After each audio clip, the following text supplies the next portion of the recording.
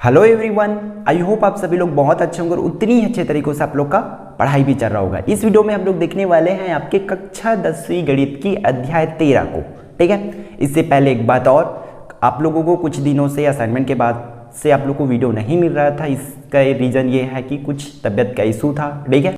तो आप लोग एकदम से बेफिक्र रहिए, आपको पूरी की पूरी वीडियो, आपको पूरे चैप्टर का वीडियो, आप लोग के पूरे डाउट का वीडियो आप लोग को मिलेगा ही मिलेगा हंड्रेड परसेंट एग्ज़ाम से पहले।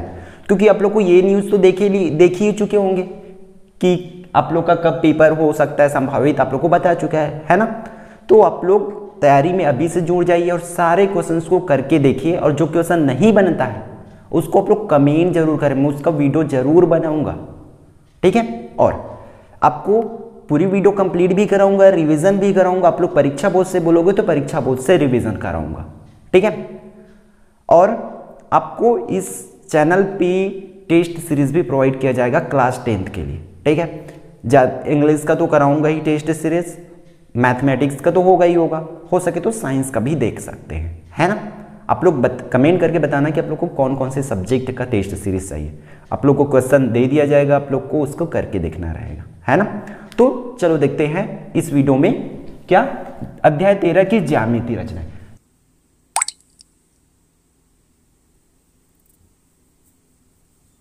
सबसे पहले हम लोग क्या करते हैं, इस ज्यामिति रचनाएँ के मीनिंग समझते हैं, कि एक्चुअल में ज्यामिति होता क्या है। क्योंकि अगर पहली बार पढ़ रहे होंगे नाइन्थ में तो पढ़े नहीं है ना हम लोग स्कूल ही नहीं गए हैं। तो टेंथ में फ़र्स्ट टाइम हो रहा होगा, है ना? तो देखो ज्यामिति बोलते किसके है ना? तो ध्यान से सुनना। गणित की वह शाखा जिसके अंतर्गत हम लोग दो या दो से अधिक रेखा खंडों से बनी आकृति मतलब रेखा खंडों से बनी हुई आकृति रहेगा तो उसे हम लोग ज्यामिति आकृति बोलते हैं, ठीक है? तो जिसके अंतर्गत हम लोग क्या करते हैं, दो या दो से अधिक रेखा खंडों से सॉरी बनी आकृतियों का अध्ययन करते हैं, उसको हम लोग जामिति रचनाएँ कहते हैं। क्लियर है? ज्यामिति रचना में क्या आ सकता है? त्रिभुज, चतुर्भुज, पंचभुज, है ना? ये सभी चीज़ आ सकता है। बहुत चीज़ ऐसे जो रेखा से बनी आकृति, वो सभी चीज़ आ जाएगा। तो आप लोग देख सकते हैं कि ये सब आकृति भी आप लोग का क्या हो जाएगा? ज्यामिति आकृतियों में आ जाएगा। है ना? क्लियर है?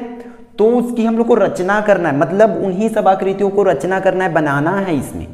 तो चलो देखते हैं कि हम लोग को इस पूरे चैप्टर में पढ़ना क्या क्या आप लोग को एक चीज़ और बता दूँ मैं कि इस पार्ट से हम लोग को सिर्फ़ और सिर्फ़ तीन क्वेश्चन पढ़ना पड़ेगा। कितने क्वेश्चन सिर्फ़ तीन क्वेश्चन तीन क्वेश्चन आप लोग का इस चैप्टर का हंड्रेड परसेंट मार्क्स फिक्स है। ठीक है, तीन क्वेश्चन पढ़ लिए, समझो आप लोग का इस चैप्टर से नंबर नहीं कटने वाला है। है ना? तो पहला क्या पढ़ना पड़ेगा हम लोग को? समरूप त्रिभुज की रचना।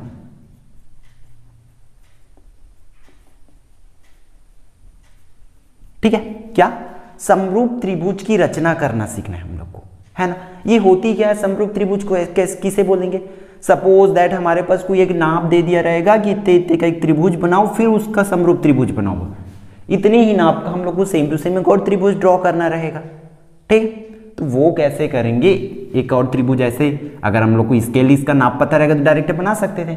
बट हम लोग को रचना करना है तो जो जो करेंगे, उस सारी चीज़ को लिखेंगे। बहुत आसान भाषा में आप लोग को समझाने वाला हूँ। ठीक है? दूसरी चीज़। दूसरी चीज़ क्या है? कि अंतवृत्त की रचना। अंतवृत्त की रचना। अभी अंतवृत्त होते क्या है? तो आप लोग ये जान के रखिए कि मान के चलो ये त्रिभुज है, है ना? अभी तो त्रिभुज है हम लोग के पास। तो इस त्रिभुज के अंदर में वृत्त बनाएँगे है ना? अंतवृत्त मतलब अंदर में वृत्त बनाना है। किस टाइप का? इस टाइप का ऐसे। ठीक है? अंदर में वृत्त बनाना है। तो वो कैसे बनेगा? वृत्त के लिए आप लोग को पता है, एक सेंटर पॉइंट पता होगा, तभी तो बना पाएँगे ना। केंद्र पता रहेगा, तभी तो बना पाएँगे।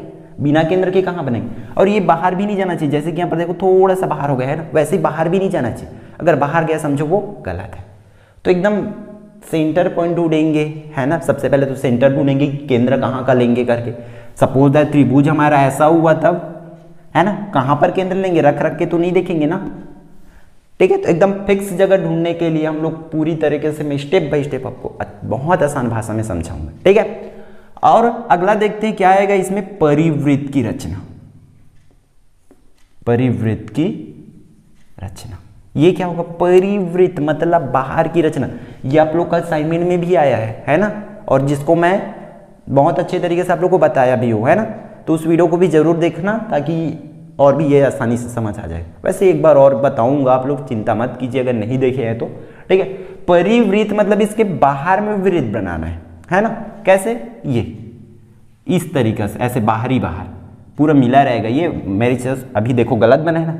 ऐसे ड्रॉ करेंगे तो गलत हो जाएगा। इसलिए एकदम फिक्स तीनों से ऐसे मिलेगा हम लोग का वृत्त है ना? पूरे तीनों पॉइंट से। तो ऐसे ड्रॉ करना सीखेंगे हम लोग। ठीक है? आपको मैं स्टेप बाय स्टेप सिखाऊँगा। आप लोग देख सकते हैं कि इसका डायग्राम जैसे अंतर्वृत्त का डायग्राम इस तरीका से बनेगा, है ना? परिवृत्त का डायग्राम को आप लोग इस तरीका से बनाएँगे। ठीक है? इसी तरह से एकदम exact correct hundred percent correct आप लोग को ड्रॉ करना पूरी की तरीके से सिखाऊँगा। ठीक है? आप लोग सिर्फ़ और सिर्फ़ ये तीनों क्वेश्चन ही पढ़ेंगे। तीनों के छोड़ एक भी कुछ नहीं पढ़ने वाले इस बार। ठीक है? और आप लोग के पास अगर बुक हो तो आप लोग बुक ओपन कर लीजिए, मैं आपको बता दूँ कि पेज नंबर कितना में का प्रश्न पढ़ना और पेज नंबर कितने का।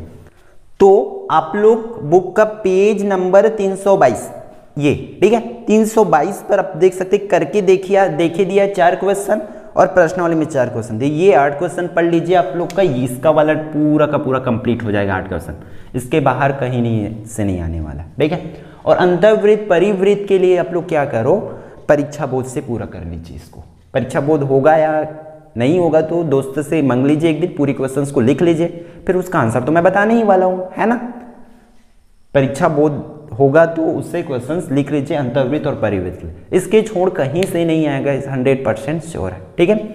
आई होप ये वीडियो आपके लिए यूजफुल रहा होगा। तो यदि आप चैनल पर नए हैं तो चैनल को सब्सक्राइब करके ज़रूर रखें, जिससे आपको एक यूजफुल कंटेंट का और साथ ही साथ बोर्ड एग्ज़ाम में एक अच्छे मार्क्स लाने में आप लोग को मदद मिलती रहेगी। ठीक है? मिलते हैं अगली वीडियो पे।